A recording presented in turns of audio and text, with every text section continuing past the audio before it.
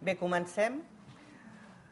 Bon dia, benvingudes i benvinguts tots a l'Escola d'Administració Pública i novament a l'Escola d'Estiu d'aquest any, que l'Escola d'Estiu d'aquest any és la setena Escola d'Estiu que fem i, com cada any, hem intentat, eh, sempre tenim, ja ho sabeu, una jornada de bones pràctiques i sempre tenim dues jornades més, eh, alguna dedicada a formadors, no sempre, però algunes vegades dedicada a formadors i altres vegades eh, doncs un tema que sigui d'actualitat. Aquest any hem intentat buscar temes que puguin ser útils i que, pugui, i que puguin ser temes d'estar una mica al dia.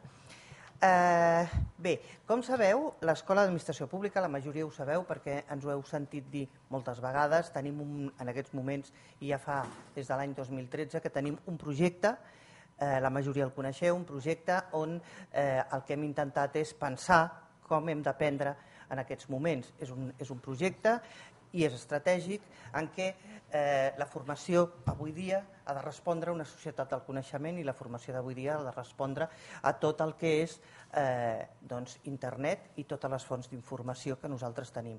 Sempre hem après de manera autònoma, sempre que ho hem necessitat hem après de manera autònoma, però avui en dia tenim eh, una sèrie de fonts d'informació i una sèrie de fonts fins i tot d'autoformació i d'entrenament que abans no teníem i les tenim localitzades. Per tant, eh, com a responsables de formació ja fa temps que venim dient que hem d'integrar aquesta manera de fer.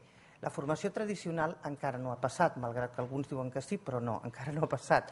Però hem d'evolucionar cap a la integració d'aquesta formació amb altres tipus de formació, formació no formal, amb altres tipus d'ofertes que nosaltres hem de fer eh, a, la, a, la, a la nostra, entre cometes, clientela. No? Els hi hem de poder oferir altres coses, els hi hem de poder aconsellar de manera personalitzada altres tipus de coses i, per tant, eh, incardinat en aquest projecte d'aquest tipus, de nou, tipus de nou aprenentatge, en aquests moments, nous models d'aprenentatge, l'escola eh, ve fent fins ara hem fet moltes coses, no és la primera vegada que esteu aquí per, per, per, perquè parlem de formació oberta i de continguts oberts.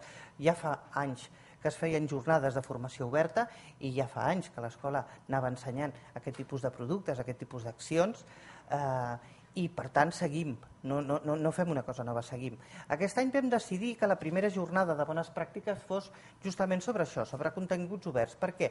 Perquè portem aquesta, aquesta idea d'anar fent eh, una mica col·laboració entre tots, d'anar compartint recursos que tenim, d'anar compartint eh, coneixements que tenim, eh, per això veureu que al final tenim un panell també per compartir coses, ja l'hem tingut en altres ocasions, i el que, el que una mica volem doncs, és mm, mantenir aquest tipus de projecte que ha de ser més integrador i que es compon de diferents peces.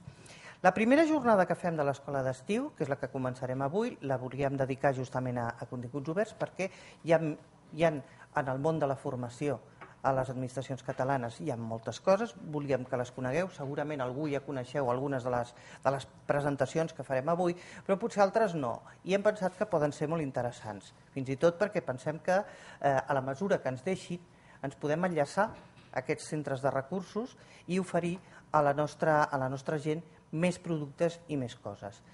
La segona jornada que farem el dia 8 eh, la dedicarem, potser l'any passat algú veu venir a la jornada sobre, sobre aplicacions en el mòbil, aquest any la fem exclusivament per formadors, formadors, empleats públics que siguin formadors, perquè és eh, adient. Hi ha moltes aplicacions de, de mòbil que realment poden tenir un rendiment molt important a les persones, per les persones que eh, exercim com a formadors. Hi ha solucions molt pràctiques, hi ha temes de com organitzar-nos els nostres propis recursos.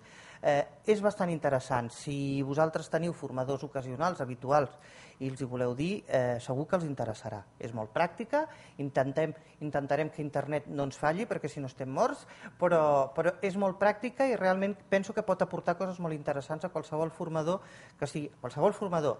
Nosaltres ens adrecem als empleats públics, però qualsevol formador en tot cas. I la tercera, hem buscat un tema que no és nou tampoc, però que encara està una mica sobre la taula, a veure si decidim fer o no fer, que és la gamificació o ludificació. Eh? que com entenem la gamificació o ludificació, eh, què és, una mica saber ben bé què és, i tenir alguna, alguna idea de quines experiències s'estan fent tant a l'empresa privada com a l'empresa pública. Tenim, tindrem aquí els empleats, eh, tindrem aquí el cap de formació de l'Institut Basc d'Administració Pública, que porten anys eh, experimentant la gamificació, i així ens explicarà com, i posarem una mica també a reflexió pensem que pot ser útil, pensem que no pot ser útil, eh, com es planteja, el joc és seriós o no és seriós, fins a quin punt ha de ser seriós o no. Vull dir, una mica la reflexió serà aquesta. Aquesta serà l'escola d'estiu, esperem que us interessi.